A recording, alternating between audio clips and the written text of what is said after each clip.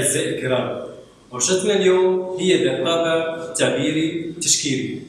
سنشتغل من خلالها على موضوع غروب الشمس لمنظر طبيعي صحراوي. الآن سوف نمر إلى تقديم الأدوات التي سوف نحتاجها خلال هذه الورشة. سوف نحتاج إلى السباق. الألوان الأساسية أحمر أصفر أزرق ثم الألوان المحايدة أبيض وأسود. سوف نحتاج إلى فرشاة كبيرة الحجم وأخرى صغيرة الحجم سوف نحتاج إلى الماء ثم إلى نماذج بصور لمناظر طبيعية صحراوية أو مناظر تمثل منظر الغروب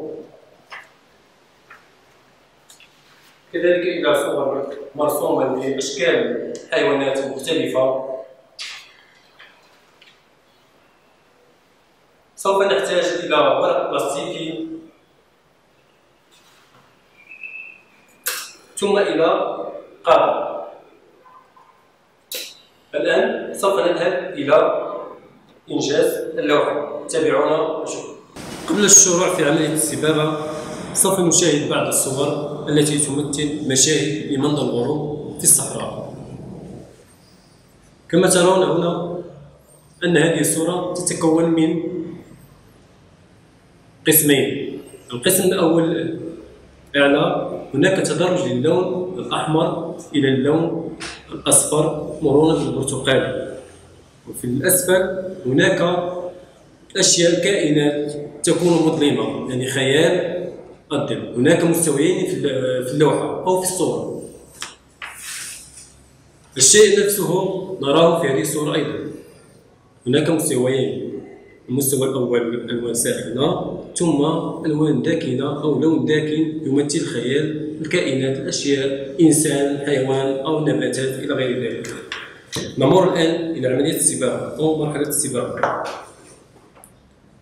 أولا نقوم بوضع القليل من الماء لتسهل عملية تدرج اللون. بما أن هذه صباغة مائية سوف نستخدم الماء في هذه العملية. نضع اللون أو الصباغة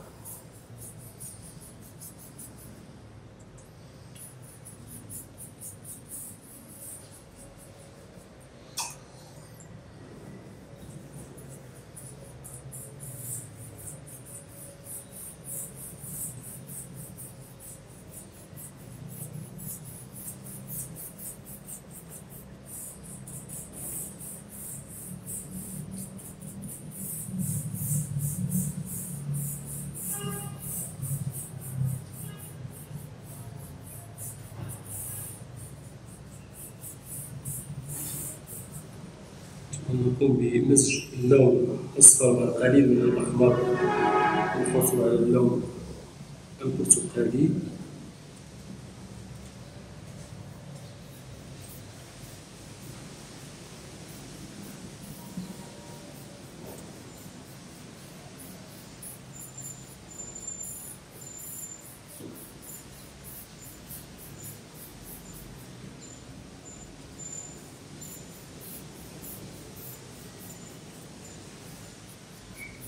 وسوف تلاحظون أن الماء الذي وضعته في الأول يسهل تدرج اللون. أقوم بإزالة الصباغة من الفرشاة ثم نذهب إلى تقاطع اللون الأصفر مع البرتقالي. لكي ندرجه هكذا.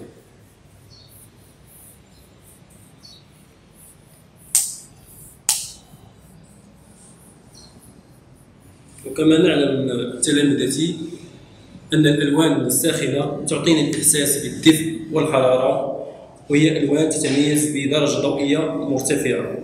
لهذا نرى في اللوحات أو في مشاهد الغروب أن الأشياء مثل الإنسان الحيوان يكون داكن أن الضوء يعطينا دائما جهة معاكسة الظل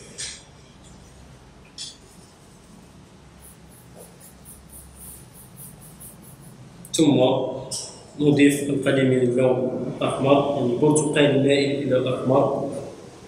نضعه في الفوق.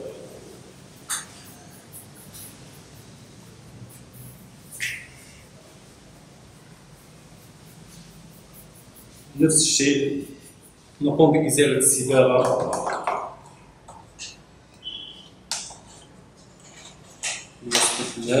ثم نذهب إلى التقاطع. البرتقالي المحمر مع البرتقالي. يجب أن يكون هناك تدرج يعني تسلسل في اللون.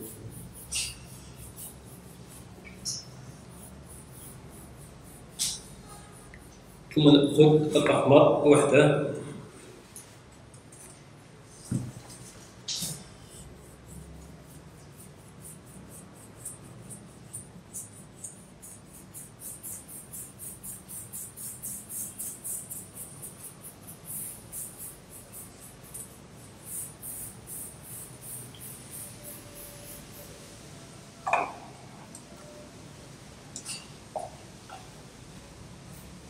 إعادة الحرص سوف نضيف قليل من الأزرق للحصول على البنفسجي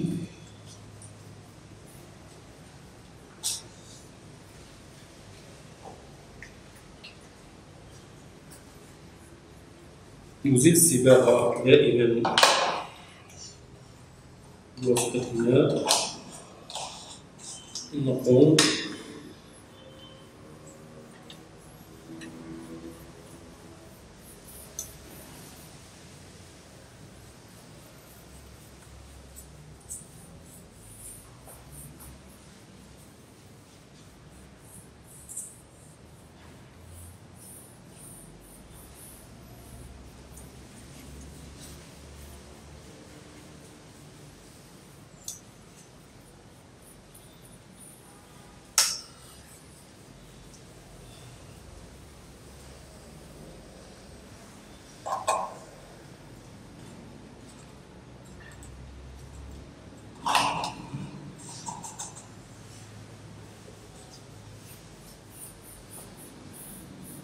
نظن أن السماء في وضع الغروب قد اكتملت.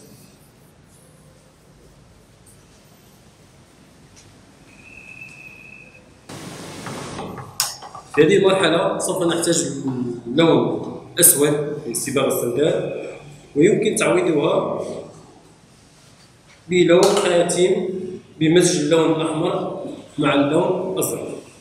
كذلك يصلح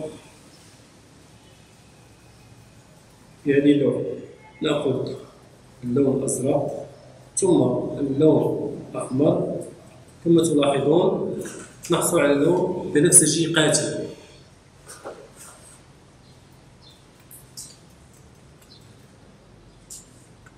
فنحن لم نرسم الألوان الطبيعية لأشكال الحيوانات للجبل أو المناظر الطبيعية. فنحن نقوم بتلوين ظلال ظلالها يعني هناك ألوان ساخنة يعني الشمس الوجه التي نقوم برسمها هي ظل الأشياء.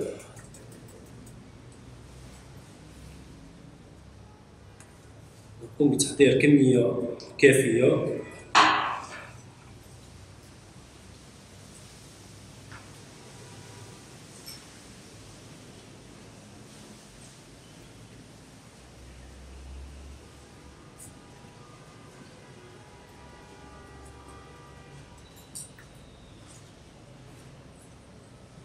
نضيف قليل من الماء ونذهب إلى الصورة. ثم نقوم برسم تلال بهذا الشكل.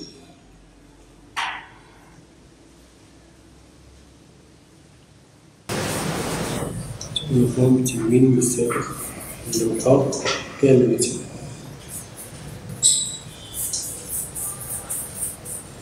سوف أضع اللوحة جانبا حتى تصبح جاهزة للرسم. ونذهب إلى أخذ ورقة.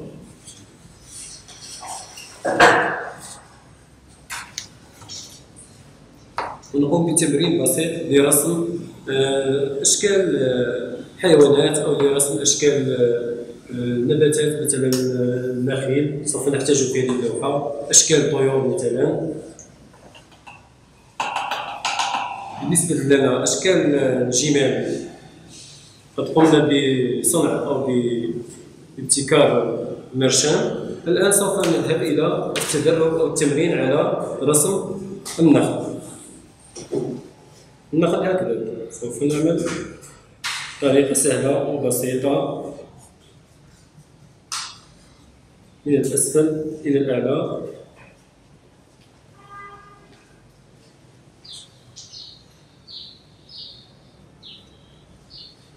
ملاحظة أن في الأسفل يكون الخط أكثر سمكا في المقارنة مع الأعلى من المركز نضع خطوط هكذا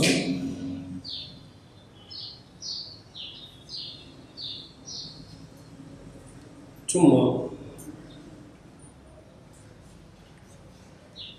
قم برسم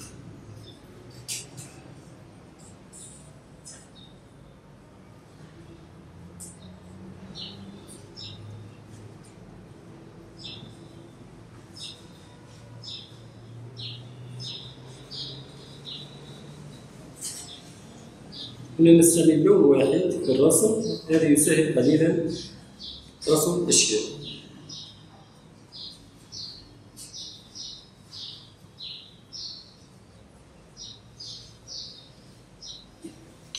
بهذه الطريقة نقوم برسم النمل نذهب إلى الصورة ونقوم بترجمة هذا التمرين على اللوحة. نختار أي مكان في اللوحة مثلا نختار هذا المكان. ونقوم برسم.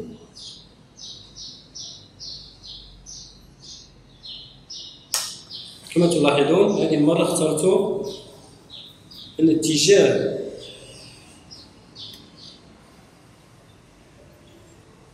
النقطة تكون مائلة إلى اليمين. أخرى سوف تكون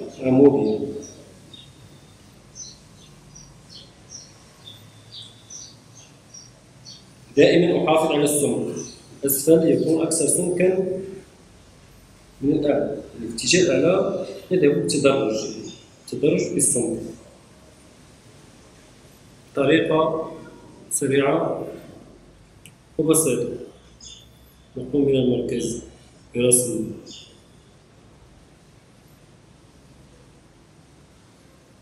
الجزء العلوي ثم نأخذ فرشاة صغيرة ونرسم تفاصيل دقيقة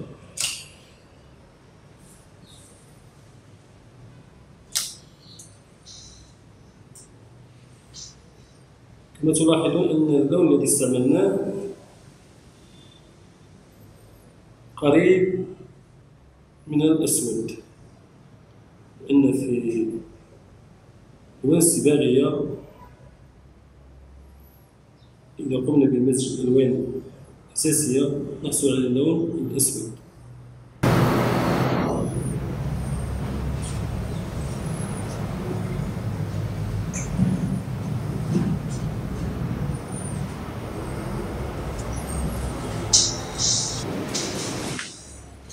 هكذا.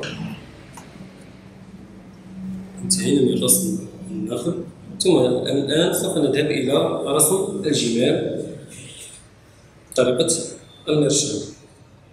الآن نذهب إلى تحضير المرشم. لأشكال حيوانات. بما أننا في منظر صحراوي كلنا يعلم أن الصحراء تتميز بجبلية وطبيعة خلابة. من بين الأشياء الجميلة في الصحراء الجمال كتبان الرمليه إلى غير ذلك النخيل مثلا إلى غير ذلك من الأشياء التي تميز المناظر الصحراوية أو الطبيعة الصحراوية. سوف نحتاج إلى أشكال للجمال وضعيات مختلفة. نقوم ثم إلى ورق بلاستيكي. نستعمل ورق بلاستيكي لأن الصباغه مائية. اذا استعملنا الورق عادي سوف يتلف مع الوقت. بالنسبة إلى الورق البلاستيكي يبقى صالح لاستعمالات عديدة الآن نذهب إلى وضع الورق البلاستيكي على الرسم المراد تقطيعه. نثبت الورق البلاستيكي باللاصق سكوتش.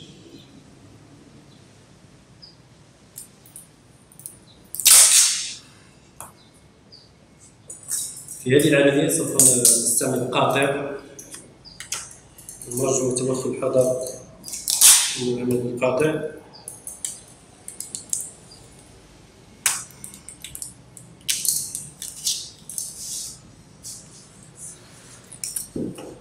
ثم نقوم بتقطيع الشكل الجبل نختار نختار الجبل الأول.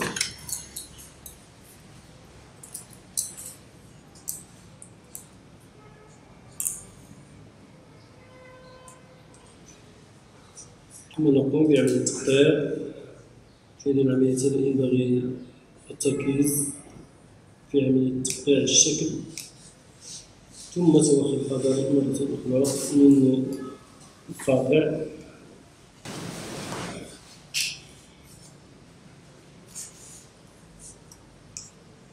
بالنسبة لأشكال الحيوانات يمكن أن نأخذ صور حقيقية لمناظر طبيعية. من هذه الصور أو صور اللي هي مرسومة نتابع عملية التقطيع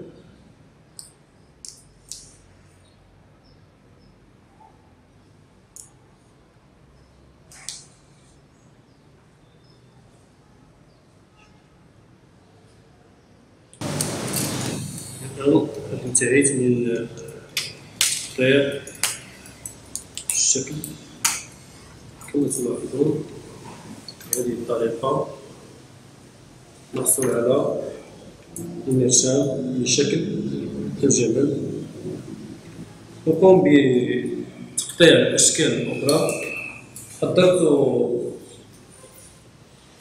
هذا مسبقا. لاستغلال الوقت الصباغة هذه هي النتيجة التي سوف نحصل عليها. الآن نذهب إلى صباغة الأشكال في اللوحه بعد أن جفت الصباغه أصبحت اللوحة جاهزة للرسم فوقها. نأخذ الورق البلاستيكي الذي حضرناه المرشام وضعت هذه الورقه ليتضح لكم عملية تقطيع الورق البلاستيكي. هذا هما الأشكال التي حضرناها مسبقا. الآن نذهب إلى عملية الصباغه على اللوحة. نأخذ الشكل المراد رسمه على اللوحة ونقوم بعملية تثبيت الورق البلاستيكي على اللوحة ثم أخذ التموقع الصحيح داخل اللوحة. نأخذ قطعة من الإسفنج ثم نضع عليها قليل من الصباغة دائما نفس اللون الذي قمنا برسم بمزجه سابقا الأحمر والأزرق بنفسجي قاتم ثم نقوم بعملية الضغط عمودية.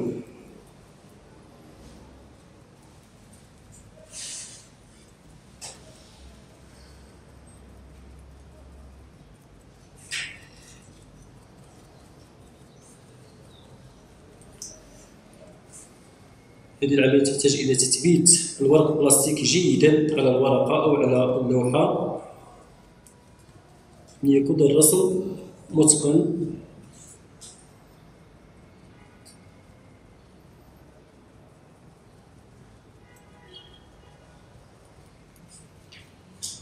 هكذا نكون قد انتهينا من رسم الشكل الأول.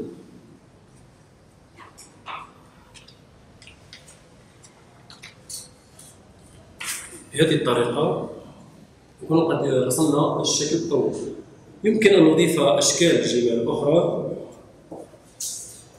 مثل قافلة الجبال نأخذ شكل آخر.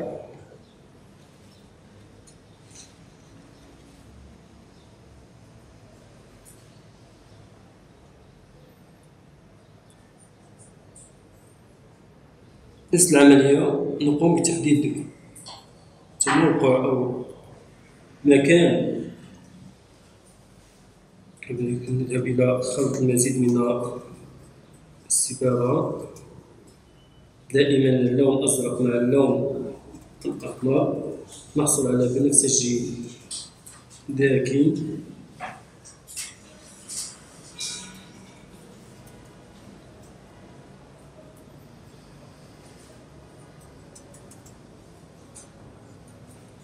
ثم نقوم بتثبيت الورق البلاستيكي على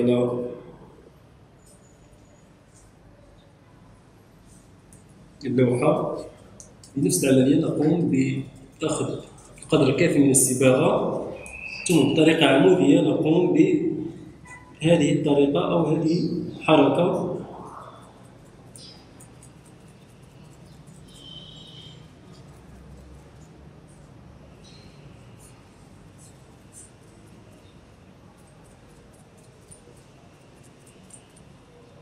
هذه المرحلة تحتاج إلى دقة أكثر.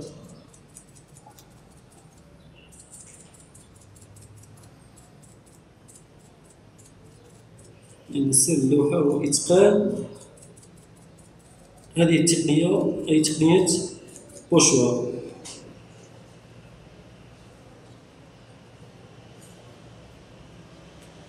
ثم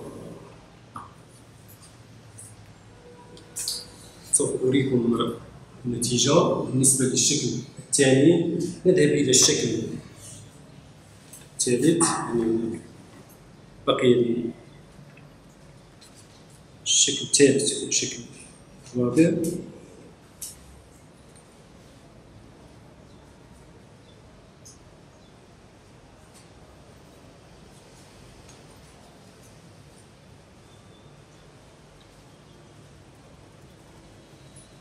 هنا في هذه هذا الشكل حاولت إبعاده قليلا حتى تظهر لنا الشمس. كاملة الآن نقوم بعملية صباغة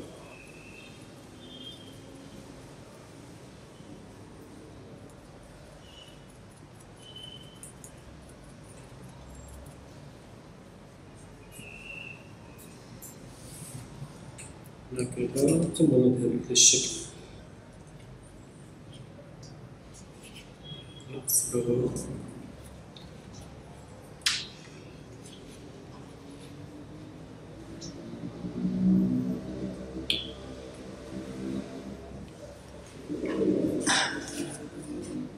أنا سأنتظر قليلا حتى تجف الصباغة ثم نذهب إلى صباغة الشكل الأخير. الآن نذهب إلى رسم الشكل الأخير.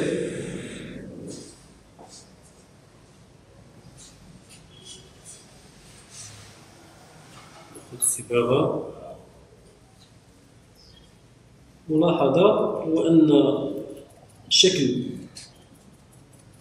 كالجمل يجب أن يأخذ مسار الكتل الرملية بمعنى إذا كانت الكتل تتجه إلى الأعلى فالشكل الجمل سوف يتبع خطأ بسيط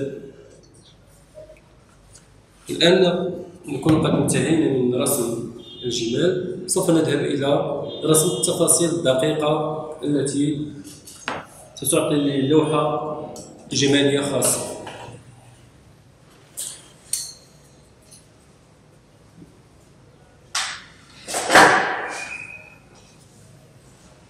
مثل بعض الأشياء الدقيقة. هناك حبل. يجب هم بإصلاح أو بملء الفراغات.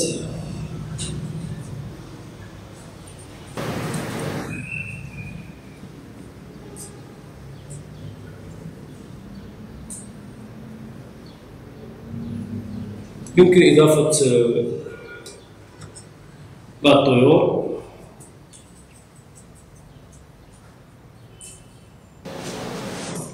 الطائر الأول الذي رصدته مقارنة بالأشياء الأخرى فهو يكبر حجمه. هنا نريد أن نبين عمق يعني أن يكون هناك عمق داخل اللوحة.